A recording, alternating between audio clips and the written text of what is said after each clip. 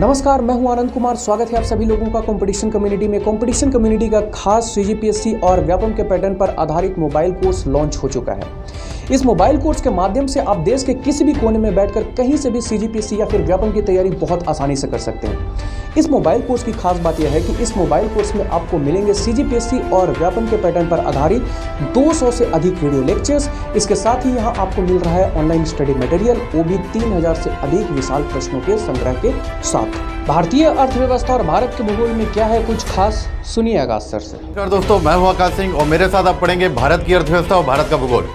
मेरे वीडियो में मिलेंगे आपको बहुत ही आसान भाषा में उदाहरण सहित कंसेप्ट क्लेरिफिकेशन और साथ ही स्टैटिक और डायनेमिक अप्रोच रखते हुए परीक्षा उपयोगी कंटेंट जिसकी सहायता से आप परीक्षा में पूछे जाने वाले सारे प्रश्नों को आसानी से सॉल्व कर पाएँगे। नमस्कार दोस्तों कंपटीशन कम्युनिटी के मोबाइल कोर्स में आपका स्वागत है और मैं हूँ Akash Singh. Indian economy video lecture series का यह अगला वीडियो है। और अभी तक के वीडियो में हमने क्या चीज़ें देखी हैं, ज़रा उसका एक संक्षिप्त विवरण देख लेते हैं। हमने राष्ट्रीय आय की शुरुआत कर ली और हमने ये जाना कि राष्ट्रीय आय नागरिकों की आय की संबंधित अवधारणा है और इसे फिर हमने विभिन्न दृष्टिकोण से देखना प्रारंभ किया, जिसमें हमने सबसे पहले जीडीपी की डेफिनेशन और उसके इम्पोर्टेंस को समझा और उसके बाद हमने ये देखा कि जीडीपी की अपनी एक अलग महत्वता तो है तो ज़रूर, लेकिन नागरिकों की आय का शुद्धतम रूप नहीं है। जीडीपी के प्राप्त मौद्रिक मूल्य निवासियों की आय को दर्शाता है। नागरिकों की आय को जानने के लिए हमने दूसरे दृष्टिकोण का सहारा लिया और हमने जीएनपी देखा। और हमने ये देखा कि भारत के परिपेक्ष में और भारत जैसे अन्य विकासशील देशों के परिपेक्ष में जीएनपी जीडीपी से कम होती है क्योंकि ऐसे राष्ट्रों की विदेशों से होने वाली निवल आय ऋणात्मक होती है। नेगेटिव वैल्यू में हमको ये net factor income from abroad प्राप्त होता है। और उसके बाद जीएनपी समाप्त करने के बाद हम पहुँचे एनएनपी पर नागरिकों की शुद्धतम आय जानने के लिए। और हमने देखा कि एनएनपी नागरिकों की शुद्धतम आय दर्शाता है।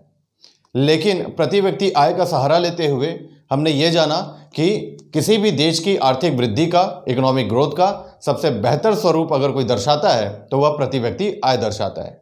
क्योंकि प्रति व्यक्ति आय हर एक नागरिकों को इंगित करता है हर एक नागरिकों को प्राप्त कितनी आय हुई है, ये दर्शाता है। और फिर उसी आय के आधार पर हम ये अनुमान लगा सकते हैं कि किसी भी राष्ट्र के नागरिक की जीवन की शैली या फिर जीवन स्तर कितना बेहतर है और कितना बेहतर हो सकता है। प्रति व्यक्ति आय समझने के बाद हम यहाँ पर आज इस वीडियो के माध्यम से नेशनल इनकम के कुछ ब्रॉड कंसेप्ट पर जाएँगे। जब हमने वो फ्लो चार्ट देखा था जिसमें हमने विशियस साइकिल और वर्चुअल साइकिल की चर्चा की थी तो हमने ये देखा था कि राष्ट्रीय आय कुछ और अवधारणाओं से जुड़ा होता है। राष्ट्रीय आय पर आज हम मुद्रास्फीति के प्रभाव को देखने वाले हैं। और ठीक उसी प्रकार अगले वीडियो में हम राजकोषीय नीति का प्रभाव भी देखेंगे।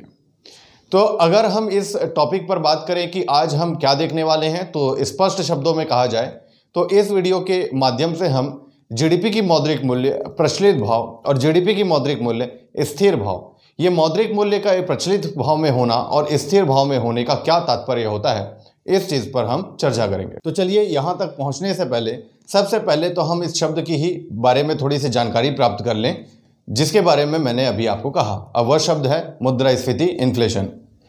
इन्फ्लेशन के बारे में बहुत ही विस्तार पूर्वक अध्ययन हम मुद्रास्फीति मौद्रिक नीति और बैंकिंग वाले टॉपिक पर करेंगे। आज मुद्रा स्थिति को लेकर उतनी ही बातें चर्चा की जाएगी, जितना राष्ट्रीय आय में उसकी इम्पोर्टेंस है। तो चलिए शुरुआत करते हैं कि ये मुद्रा स्फीति और नेशनल इनकम के साथ में इसका जो कनेक्शन बैठता है, वो कैसे है और क्या है। तो सबसे पहले तो हम इस शब्द का ही अर्थ समझे इन्फ्लेशन या मुद्रा स्फीति का क्या तात्पर्य है। मुद्रा स्फीति को परिभाषित किया जाता है कि मुद्रा की क्रय शक्ति में गिरावट होना क्रय शक्ति इंग्लिश में इसे परचेजिंग पावर कहेंगे। क्रय शक्ति में गिरावट होना, या फिर आप ये कह दें कि वस्तुओं की कीमत में वृद्धि होना, या फिर प्राइस राइज होना, ये दोनों ही चीज़ को आप एक साथ कह देंगे मुद्रा स्थिति की परिभाषा।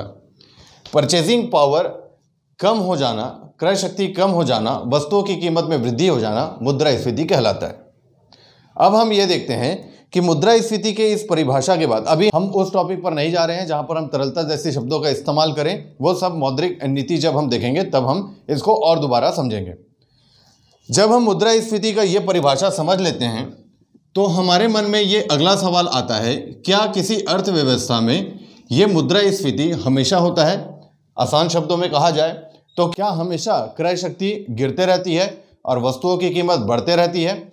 हमेशा कहने से तात्पर्य मेरा एक दीर्घ अवधि होगा। अर्थात 20-30 साल की दीर्घ अवधि की बात कर रहे हैं। हम दो चार महीने की बात नहीं कर रहे हैं। हमेशा होगा का जवाब अगर देखा जाए तो हाँ ऐसा हमेशा होता है। एक दीर्घ अवधि में हमेशा क्रय शक्ति रुपए की गिरते रहती है और वस्तुओं की कीमत बढ़ते रहती है। कभी भी आप मुद्रास्फीति शब्द को महँगाई शब्द से कंफ्यूज ना करें। इन दोनों में अंतर होता है। किस प्रकार का अंतर होता है, जरा हम समझते हैं। देखते हैं। जैसे फॉर एग्ज़ाम्पल आपने किसी एक वस्तु पर बात की, जैसे अभी चर्चा में है प्याज। प्याज की कीमत आज ज़्यादा है तो आप कह रहे हैं प्याज महँगा हो गया। कल के डेट में इसकी कीमत कम हो जाएगी तो आप कह देंगे कि ये सस्ता हो गया। ठीक उसी प्रकार कोई और प्रोडक्ट ले लें। जैसे मान लेते हैं आप रेफ्रिजरेटर ले लें, और मान लेते हैं कि आज इसकी कीमत थोड़ी सी तुलनात्मक रूप से गिर गई है। ऑटोमोबाइल का एग्ज़ाम्पल ले लेते हैं, तुलनात्मक रूप से मान लेते हैं, इसकी भी प्राइस गिर गई है। फिर आप मोबाइल फ़ोन्स का एग्ज़ाम्पल ले लें तो मान लेते हैं कि इसकी जो प्राइस है वो बढ़ गई है।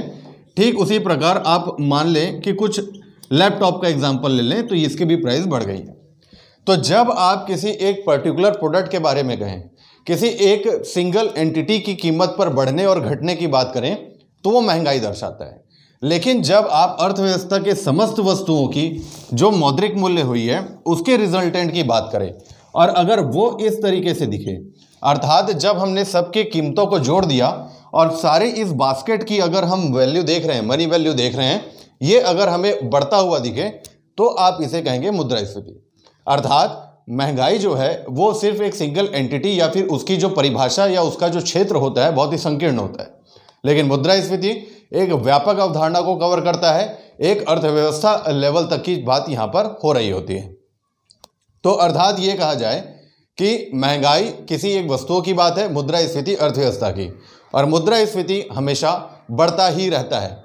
बढ़ने की जो दर है, वो कम ज़्यादा हो सकती है। कभी बढ़ने की दर छः प्रतिशत हो सकती है, कभी बढ़ने की दर तीन प्रतिशत हो सकती है। तो आप पहले एग्ज़ाम्पल और दूसरे एग्ज़ाम्पल के आधार पर समझ सकते हैं कि मुद्रास्फीति की दर अब गिर गई है छः से गिरकर तीन हो गई है, लेकिन बढ़ेगी ज़रूर। सीधे तौर पर एक आसान भाषा में आप समझ सकते हैं कि मान लेते हैं कि आप एक मोटरसाइकिल चला रहे हैं।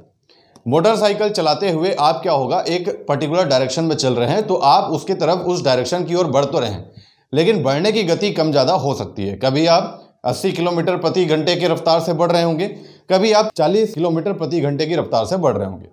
तो आप बढ़ तो रहे हैं, लेकिन बढ़ने की दर आपकी कम हो जा रही है। ठीक उसी प्रकार मुद्रास्फीति होता तो रहता है। प्राइस ऑफ़ प्रोडक्ट बढ़ते रहती है और क्रय शक्ति गिरते रहती है, बढ़ने की दर ऊपर नीचे हो सकती है। तो हम यहाँ पर इस कंक्लूजन तक तो पहुँचे कि मुद्रास्फीति हमेशा होते रहती है, लेकिन मन में ये सवाल आ रहा है कि हम ये कंक्लूजन निकाले कैसे? कि हमेशा प्राइस बढ़ते कैसे रहती है? तो अगले कंसेप्ट पर हम पहुँचे कि क्यों? ऐसा क्यों होता है?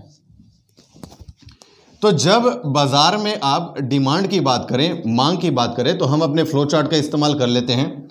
अगर मार्केट में डिमांड है तो हमने क्या देखा कि उत्पादन होता है प्रोडक्शन होता है।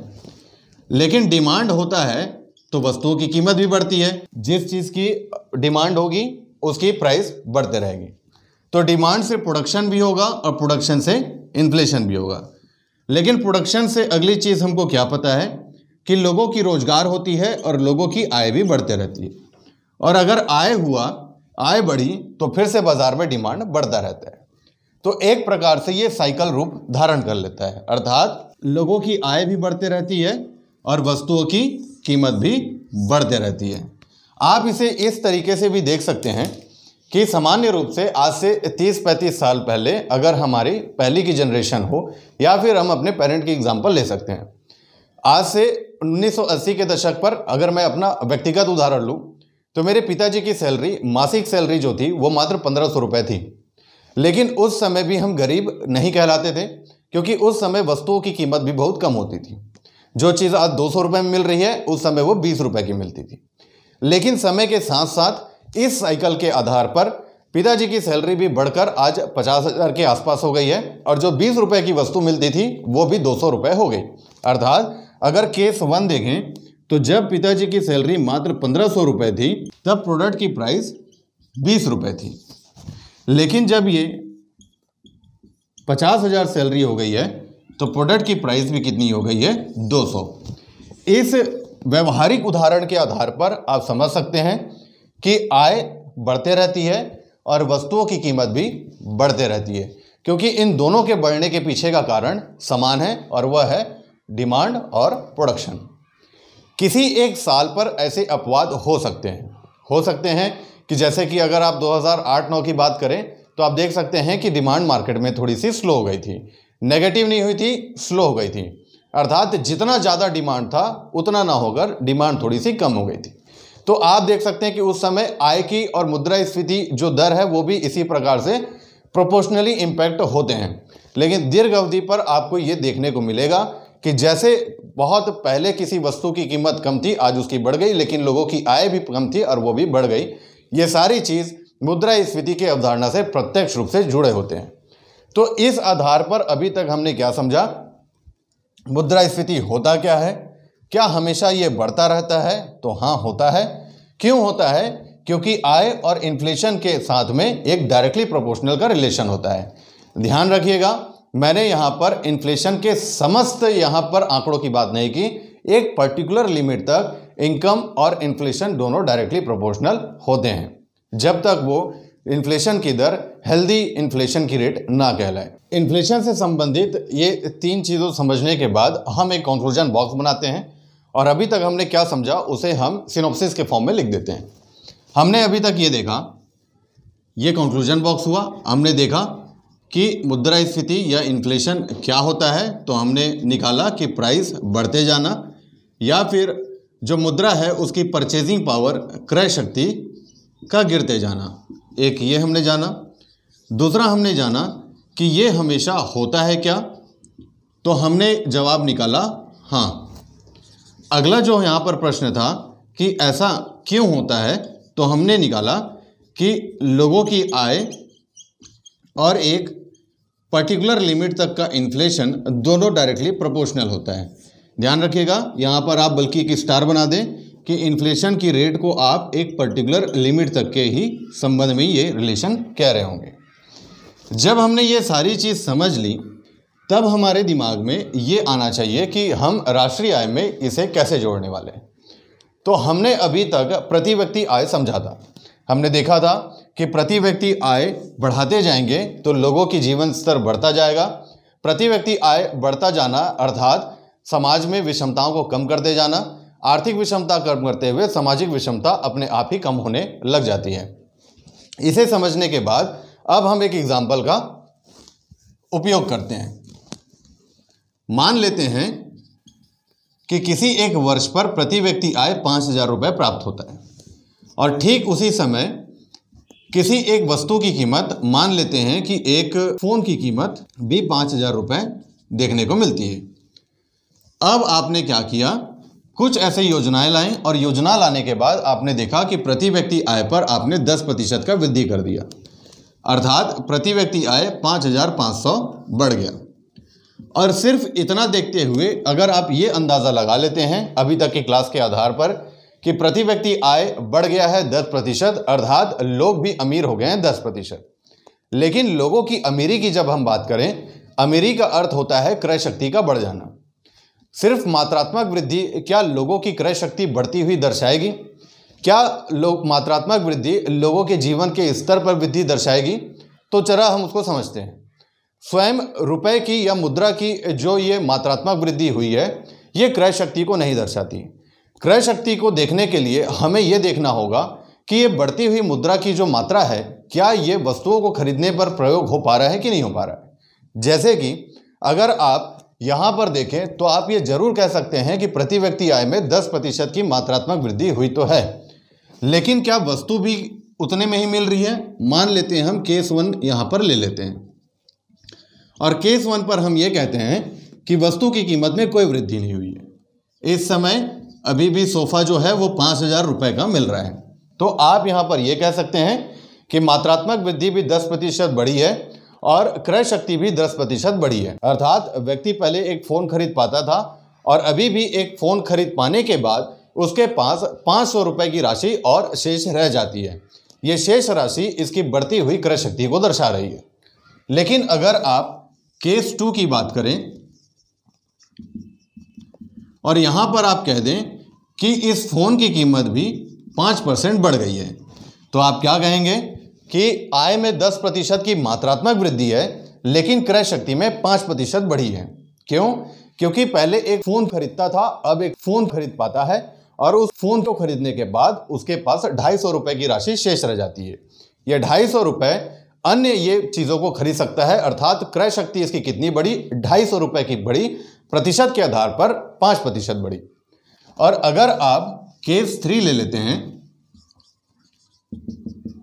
और केस थ्री में मान लेते हैं कि फ़ोन की भी जो कीमत है, वो भी उतनी ही बढ़ गई जितनी मात्रात्मक वृद्धि हुई थी। तो आप क्या कहेंगे? लोगों की आय में 10 प्रतिशत की मात्रात्मक वृद्धि हुई है, लेकिन क्रय शक्ति में कोई भी इजाफा नहीं हुआ है। पहले भी व्यक्ति एक फ़ोन ही खरीद पाता था, अभी भी व्यक्ति एक फ़ोन ही खरीद पा रहा है। तो लोगों की जो आय है उसकी मात्रात्मक वृद्धि, उसकी क्रय शक्ति के वृद्धि को नहीं दर्शाता। हमें इस क्रय शक्ति के वृद्धि को देखने के लिए वस्तुओं की कीमत पर वृद्धि हुई है या नहीं हुई है, या सीधे तौर पर कहें मुद्रा स्फीति की क्या दर है, इसे भी देखना ज़रूरी है। जब तक हम उसे नहीं देखेंगे, तब तक हम लोगों की क्रय शक्ति में वृद्धि, उनके जीवन के स्तर पर वृद्धि, इसका अनुमान नहीं लगा पाएँगे। और सिर्फ़ मात्रात्मक वृद्धि देखकर हम किसी भी प्रकार के निष्कर्ष पर नहीं पहुँचेंगे कि लोगों की क्रय शक्ति बढ़ गई है या नहीं बढ़ी है। अगर आप इसका एक नेगेटिव एग्ज़ाम्पल देखें और आप देख लेते हैं कि केस फोर और यहाँ पर आप देख लेते हैं कि वस्तु की कीमत पंद्रह प्रतिशत बढ़ गई। अर्थात अब वो जो फ़ोन जो है वो भी खरीदने लायक वो व्यक्ति नहीं रह गया। पहले एक फ़ोन तो कम से कम खरीद पाता था, अब वो फ़ोन भी नहीं खरीद पाया। मात्रात्मक वृद्धि हुई तो है, लेकिन क्रय शक्ति में वृद्धि नहीं, गिरावट हुई है। तो अगर आप इन सारे कंसेप्ट को एक इक्वेशन पर लिखें तो इक्वेशन कुछ इस प्रकार से हमें दिखेगा। लोगों की परचेजिंग पावर पर वृद्धि, या आप इसी को कह दें रियल इनकम या इसे ही आप हिंदी में कह दें, वास्तविक आय में वृद्धि तो इन सारे चीज़ों को आप कैसे निकालेंगे कि जो भी यहाँ पर नॉमिनल ग्रोथ हुई है, उसमें से मुद्रा स्थिति को, दर को निकालना पड़ेगा। जैसे कि अगर आप केस वन की बात करें तो नॉमिनल ग्रोथ टेन परसेंट थी और मुद्रा स्थिति की दर ज़ीरो प्रतिशत थी तो रियल इनकम जो यहाँ पर आई केस वन पर, वो भी दस प्रतिशत आई। और इसे ही मैंने केस वन पर क्या कहा था कि जितनी मात्रा में वृद्धि हुई है, उतनी ही क्रय शक्ति में वृद्धि हुई है, क्योंकि वस्तुओं की कीमत में कोई भी इजाफा हमको देखने को नहीं मिला है। लेकिन अगर आप केस टू की बात करें तो केस टू पे जो मात्रात्मक वृद्धि हुई है और मुद्रा स्फीति की दर पाँच प्रतिशत हुई है तो आप यहाँ पर निकाल सकते हैं केस टू के लिए पाँच प्रतिशत। अगर आप केस थ्री की बात करें, और यहाँ पर मुद्रा स्थिति की दर भी दस प्रतिशत है तो क्रय शक्ति में कोई भी इजाफा नहीं हुआ है। और जो फोर्थ केस होगा, उसमें तो माइनस फाइव परसेंट हो गया है, अर्थात क्रय शक्ति बढ़ी नहीं, स्थिर भी नहीं रही, बल्कि गिर गई। तो इन सारे चीज़ों के कंसेप्ट के बाद कंक्लूजन बॉक्स पर एक और चीज़ जोड़ लेते हैं। कि रियल इनकम अर्थात क्या? लोगों की आय में वास्तविक वृद्धि का अर्थ क्या होता है? तो होता है, जो नॉमिनल ग्रोथ होगा, उसमें से मुद्रा स्फीति की दर को माइनस कर देना चाहिए। तब जाके वास्तविक आय या वास्तविक आय में वृद्धि हमको प्राप्त होगी। तो सिर्फ़ प्रति व्यक्ति आय जान लेने से या सिर्फ़ प्रति व्यक्ति आय की मात्रात्मक वृद्धि को जान लेने से आप इस निष्कर्ष पर नहीं पहुँचेंगे कि लोगों के जीवन का स्तर भी बेहतर हो रहा है। आपको इस निष्कर्ष में पहुँचने के लिए मुद्रा स्फीति की दर से उस मात्रात्मक वृद्धि की दर को तुलना करके देखना होगा, क्या वाकई में लोगों की आय या क्रय शक्ति या उनकी अमीरी या उनके जीवन के स्तर पर कोई वृद्धि हुई है या नहीं। अभी तक के कंक्लूजन बॉक्स पर लिखे हुए शब्दों के आधार पर हमने ये जान लिया कि अगर लोगों की वास्तविक आय की जानकारी चाहिए तो मात्रात्मक वृद्धि पे मुद्रा स्थिति के प्रभाव को देखना होगा। अगला हम इस्तेमाल देखते हैं मुद्रा स्थिति का राष्ट्रीय आय में क्या होता है। अगला इस्तेमाल होता है किसी भी एक निर्धारित वर्ष से वर्तमान के वर्ष की आर्थिक स्थिति पर वृद्धि हुई है या नहीं हुई है ये जानने के लिए। या फिर कह दें, तुलनात्मक विश्लेषण के लिए कंपेरेटिव एनालिसिस के लिए। फॉर एग्ज़ाम्पल मान लेते हैं कि 2011-12 एक वित्तीय वर्ष है और इस समय जितने वस्तु और सेवाओं का उत्पादन हुआ है, उसकी मात्रा है मान लो तीन मार्कर। तीन मार्कर का उत्पादन हुआ है। इस समय प्रति मार्कर की जो कीमत है, मान लेते हैं दस रुपये पर मार्कर। तो जीडीपी अगर हम निकालें 2011-12 की तो हमें प्राप्त होती है तीस रुपये आपने डेफिनेशन में कहा भी था, एक निर्धारित समय अवधि पर उत्पादित सभी अंतिम वस्तुओं, सेवाओं के मौद्रिक मूल्य को हम उस भौगोलिक क्षेत्र का सकल घरेलू उत्पाद कहते हैं। मान लेते हैं वर्तमान में आकर 2019-20 का वित्तीय वर्ष है। और इस समय उत्पादन जो है, मान लेते हैं कि दो मार्कर का हुआ है। लेकिन वस्तुओं की जो कीमत है, वह बढ़ गई होगी, क्योंकि हमने देखा कि मुद्रा स्थिति हमेशा होती है। और वस्तु की कीमत पंद्रह रुपये पर मार्कर मान लेते हैं, हो चुका है।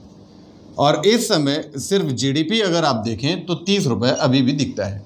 डेफिनेशन के आधार पर तो अगर आप अपने आप को मुद्रा स्थिति के प्रभाव से अलग रखें, उसकी जानकारी से अलग रखें तो जीडीपी दोनों ही समय पर हमें समान दिख रही है, सिर्फ़ डेफिनेशन के आधार पर। और सिर्फ़ डेफिनेशन तक के ज्ञान रखने के आधार पर आप ये कह सकते हैं कि 2011-12 और 2019-20 की जो स्थिति थी, वो समान थी। लेकिन हमें यहाँ पर बोर्ड में सीधे तौर पर दिख रहा है कि स्थिति समान नहीं है, बल्कि उत्पादन क्या हुआ है, गिरा हुआ है। लेकिन ये समान स्थिति सिर्फ़ इस मौद्रिक पुल पर क्यों दिख रही है? तो वह दिख रही है मुद्रा स्थिति के कारण। तो अगर हमें 2011-12 से 2019-20 को कंपेयर करना है और इस तरीके से कंपेयर करें तो हमें जो है बहुत ही गलत निष्कर्ष प्राप्त होगा। इस सही निष्कर्ष में पहुँचने के लिए हमें मुद्रा स्थिति के प्रभाव को जानना होगा। इसी के आधार पर अब हम देखते हैं कि ये जीडीपी प्रचलित भाव और जीडीपी स्थिर भाव किसे कहते हैं। मान लेते हैं, हम निकालते हैं जीडीपी प्रचलित भाव। इंग्लिश में आप इसे क्या कह देंगे? जीडीपी एट करंट प्राइसेस इसका ये अर्थ है कि जितने भी वस्तु और सेवाओं का उत्पादन हुआ है वर्तमान वर्ष में, इसकी जो मौद्रिक मूल्य है, वो वाली मौद्रिक मूल्य लो जो अभी प्रचलन में है, या फिर जो करंट ईयर पर चल रही है। तो करंट ईयर पर जो मौद्रिक मूल्य है, वो पंद्रह दिख रही है। तो आप प्राइस कौन से निकाल लें? कौन सा? जो करेंट ईयर पर प्राइस है। तो इस आधार से अगर 19-20 के लिए आप जीडीपी एट करेंट प्राइस निकालें तो आपको दिखेगा कि दो मार्कर है वो क्वांटिटी और पंद्रह रुपये है करेंट प्राइस और जीडीपी करेंट प्राइस हमको मिल रहा है 2019-20 के लिए तीस रुपये क्लियर है? लेकिन ये तो हो गया करेंट प्राइस यहाँ तक चीज़ें समझ में आ गई। तो फिर ये कांस्टेंट प्राइस क्या होता है? और कांस्टेंट प्राइस निकाला ही क्यों जाता है? उसका प्रभाव क्या पड़ता है? तो ज़रा हम देखते हैं कि जीडीपी कांस्टेंट प्राइस या फिर जीडीपी स्थिर भाव में कहने का अर्थ क्या होता है? इसका अर्थ ये होता है कि जितने भी क्वांटिटी का प्रोडक्शन हुआ है, वो क्वांटिटी और जिस साल से आप तुलना कर रहे हैं, उस साल का जो कीमत है, उसको कांस्टेंट लेना है। ध्यान रखिएगा कि जब भी आप किसी भी चीज़ को दूसरे चीज़ से कंपेयर करते हैं तो कंपेयर करने का जो बेस होगा, जो आधार होगा, वो सेम होगा। बिना सेम कंपैरिजन के आप किसी की भी तुलना नहीं कर सकते। फॉर एग्ज़ाम्पल अगर मेरी हाइट की तुलना किसी और व्यक्ति की हाइट की तुलना से किया जाए तो हम दोनों ही ज़मीन में खड़े हुए हों तो बेहतर है। ऐसा ना हो कि मैं ज़मीन पर खड़ा हूँ और कोई दूसरा व्यक्ति वो टेबल पर खड़ा है। टेबल पर खड़ा है और मैं ज़मीन पर हूँ, तब अगर हमारी हाइट मेज़रमेंट की जाएगी तो हम दोनों की हाइट में जो अंतर दिखेगा वो गलत होगा। हम दोनों को कंपेयर करने के लिए, हम दोनों की हाइट को कंपेयर करने के लिए हमें दोनों को या तो ज़मीन पर खड़ा होना पड़ेगा या दोनों को टेबल पर, क्योंकि कंपैरिजन करने का जो सेम बेस होगा, वो दोनों सेम होना चाहिए। और अगर 2019-20 को 2011-12 से मुझे कंपेयर करना है तो कंपैरिजन करने का जो बेस मुझे लेना है, वो सेम लेना होगा और वो बेस क्या है? मॉनेटरी वैल्यू कांस्टेंट या ये मान लें कि 2011-12 में जो मौद्रिक मूल्य थी वो 2019-20 तक में कांस्टेंट रही स्थिर रही। इस आधार पर जीडीपी वर्तमान वर्ष के लिए क्या निकलने वाली है? तो क्वांटिटी थी यहाँ पर दो मार्कर की और कांस्टेंट प्राइस आप इस समय का ले रहे हैं क्योंकि आप 2011-12 को बेस लिया है आपने और इस समय आपकी मौद्रिक मूल्य आती है द, दस रुपये तो अब जो यहाँ पर जीडीपी आई है ये आई है बीस रुपये स्थिर भाव में। आपने देखा 2019-20 के लिए जीडीपी करेंट प्राइस तीस रुपये जीडीपी कांस्टेंट प्राइस बीस रुपये अब इस जीडीपी कांस्टेंट प्राइस को हम अगर तुलना करें इस साल से, क्योंकि आपने क्या किया है? मौद्रिक मूल्य 2011-12 लिया है। तब आप इस कंक्लूजन पर आएँगे कि हमारी स्थिति समान नहीं है, बल्कि हमारी स्थिति गिर गई है, क्योंकि उत्पादन भी गिरा हुआ है। तो जीडीपी जो 2011-12 का था और जीडीपी कांस्टेंट प्राइस दो, जो 2019-20 का था, ये सीधे तौर पर कंपेयर कर दिया कि 2019-20 की स्थिति नकारात्मक है, तुलनात्मक रूप से 2011-12 की। तो ये कंपैरिजन आपने जो किया तो आप पाँचवें बॉक्स पर पहुँच जाएँ कि इस जीडीपी स्थिर भाव और प्रचलित भाव के आधार पर आप कंपैरिजन कर सकते हैं अपने आर्थिक वृद्धि में कुछ हुआ है, समान है या गिर गया है। तो ये हुआ जीडीपी प्रचलित भाव, स्थिर भाव। एक बार फिर समझ लेते हैं जीडीपी प्रचलित भाव, जो मात्रा आपने लिया उत्पादों का, वस्तुओं, सेवाओं का, वो क्यू है? और जब आपने प्रचलित भाव कहा तो वो मौद्रिक मूल्य लेना है जो वर्ष में प्रचलन में है करंट ईयर पर है। तो आपकी जो मौद्रिक मूल्य आएगी, वो जीडीपी प्रचलित भाव कहलाएगी। स्थिर भाव क्या होगा कि इसी समय पर आपको 19-20 का आपको 2011-12 से कंपेयर करना है। जो भी मात्रा आई है और जो मौद्रिक मूल्य है, उसको आपने कांस्टेंट लिया और आपको स्थिर भाव में 20 आया और इसके आधार पर आपने कंपैरिजन कर लिया पिछले साल की तुलना पर। ये तो हो गई चीज़ें कंपैरिजन करने की। लेकिन इस रियल इनकम तक हम इस करेंट प्राइस और कांस्टेंट प्राइस तक कैसे पहुँचेंगे? जरा इसकी हम बात कर लेते हैं। जीडीपी प्रचलित भाव और जीडीपी स्थिर भाव को कंसेप्ट के समझने के बाद हमने ये देखा कि जीडीपी स्थिर भाव से हमने 2011-12 को कंपेयर किया और हमने देखा कि आर्थिक स्थिति थोड़ी गिरी हुई है। लेकिन अब इसे हम रियल इनकम तक कैसे पहुँचे तो जरा हम समझते हैं। जीडीपी करंट प्राइस क्या था? तो हमने देखा कि जितने भी वस्तु और सेवाओं का उत्पादन हुआ है और जो वर्तमान वर्ष पर या करेंट ईयर पर या प्रचलन पर जो मौद्रिक मूल्य है, उसके आधार पर निकाला गया जीडीपी जो कि तीस रुपये आ रहा है, इस उदाहरण के आधार पर। स्थिर भाव का हमने निकाला कि जो भी उत्पादित वस्तुएँ हैं और जो मौद्रिक मूल्य था, आपने कांस्टेंट ईयर का लिया था बेस ईयर का लिया था बेस ईयर था 2011-12 आपने दस रुपये लिया था और आपने देखा कि जीडीपी स्थिर भाव पर बीस रुपये आया। इस तीस रुपये की जीडीपी करेंट प्राइस और जी ये कांस्टेंट प्राइस पर अंतर किसने बनाया? वो बनाया मुद्रा स्फीति ने जो कि थी पचास प्रतिशत। पंद्रह रुपये और आपने देखा दस रुपये तो दस रुपये पंद्रह रुपये पर पचास परसेंट का इजाफा हो चुका है। तो अगर जीडीपी करेंट प्राइस पर आप जब जीएनपी एनएनपी ये सारी चीज़ें निकालते हुए पर कैपिटल इनकम पर आएँगे तो जो प्र, प्रति व्यक्ति आय आएगी करेंट प्राइस के आधार पर वह प्रति व्यक्ति आय भी करेंट ईयर करेंट प्राइस पर होगी। और जो कांस्टेंट प्राइस की पर कैपिटल इनकम आएगी वो भी कांस्टेंट प्राइस पर होगी। और अगर आप रियल इनकम पर देखें तो करेंट प्राइस की जो भी वृद्धि दर होगी, उसमें से जब आपने इन्फ्लेशन को हटाया तो आपको प्रति व्यक्ति आय कांस्टेंट प्राइस या स्थिर भाव प्राप्त होगी। ये कुछ इसी प्रकार से मिलता जुलता ये फोर्थ हमारा इक्वेशन है। नॉमिनल ग्रोथ माइनस इन्फ्लेशन हमारा आता है रियल इनकम तो इसे ही आप कह रहे हैं नॉमिनल ग्रोथ नॉमिनल ग्रोथ या मात्रात्मक वृद्धि का अर्थ क्या हो गया? प्रति व्यक्ति आय प्रचलित भाव में वृद्धि। इसे आप कह रहे हैं रियल ग्रोथ और रियल ग्रोथ का क्या अर्थ हो गया? वास्तविक वृद्धि का अर्थ हो गया। प्रति व्यक्ति आय स्थिर भाव में जो भी वृद्धि होगी, वो रियल ग्रोथ कहलाएगी। और इन दोनों के बीच में अंतर जो बना रहा है, वो है इन्फ्लेशन तो सीधे तौर पर आप कह दें तो क्या होगा? प्रति व्यक्ति आय स्थिर भाव में जो भी वृद्धि होगी, वो क्या दर्शाएगी? वास्तविक आय में वृद्धि या फिर रियल इनकम में ग्रोथ तो ये हो गया हमारा प्रचलित भाव और स्थिर भाव की ज़रूरत क्यों पड़ती है? तो जब भी आपको यह कह दिया जाए कि भारत को आगामी पाँच वर्षों में पाँच ट्रिलियन अर्थव्यवस्था बनाने के लिए जो सालाना वृद्धि दर चाहिए, वो वास्तविक वृद्धि दर आठ प्रतिशत चाहिए। अर्थात इसकी बात हो रही है मतलब रियल ग्रोथ में जीडीपी एट कांस्टेंट प्राइस में एट परसेंट बढ़ते रहना चाहिए। और अगर आप देखें तो सामान्य रूप से मुद्रा स्फीति प्रति वर्ष चार प्रतिशत बढ़ते रहती है। तो आगामी पाँच वर्षों के लिए जीडीपी प्रचलित भाव में वृद्धि फिर बारह प्रतिशत चाहिए। आगामी पाँच वर्षों में भारत को पाँच ट्रिलियन की अर्थव्यवस्था बनाने के लिए।